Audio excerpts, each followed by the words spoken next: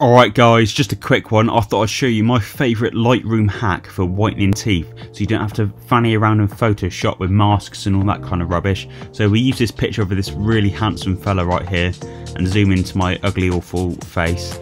As you can see with the before and after, it's a nice subtle change that really impacts the overall photo. And so if I break down what I've done, it's simply brush tool, scroll down, where is it? Make sure you've got auto mask selected so it does its best to mask around what you're um, trying to select. And if I just open up this mask here, you can see it, if I push O, there we go, selects the teeth nicely.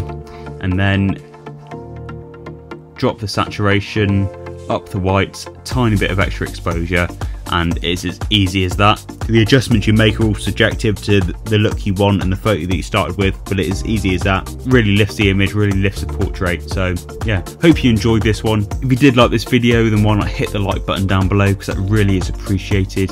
And if you want to see more videos just like this one and all the other stuff I've got planned, then why not hit subscribe while you're down there as well. And I'll see you in the next one.